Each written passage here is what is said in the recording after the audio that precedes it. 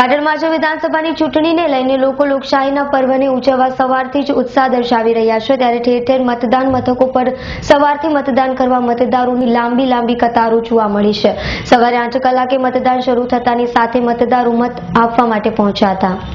પાટણમાં આજે વિધાનસભાની ચૂંટણીને લઈને લોકો લોકશાહીના પર્વને ઉજવવા સવારથી જ ઉત્સાહ દર્શાવ્યો હતો. ઠેર ઠેર મતદાન મથકો પર સવારથી મતદાન કરવા મતદારોની લાંબી કતારો લાગી જવા પામી હતી.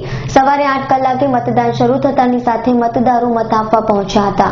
ચેતન રામીનો રિપોર્ટ પાટણ.